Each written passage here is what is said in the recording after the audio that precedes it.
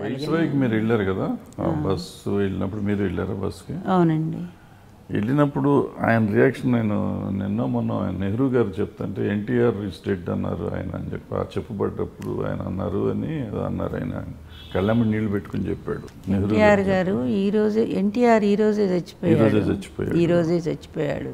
రేపు చచ్చిపోయేది నామకానే అది నామమాత్రం. నమ్మ. ఆ, ఎందుకంటే ఏ పార్టీని స్థాపించి ఇంతమందిని ఎన్టీఆర్ అంటే చాలు ఓట్లు వేశారు ఈ జనం. ఎంతోమంది అనామకులు. రోడ్డు పక్క వాళ్ళని తీసుకొచ్చి గెలిపించాను. పదవులు ఇచ్చాను.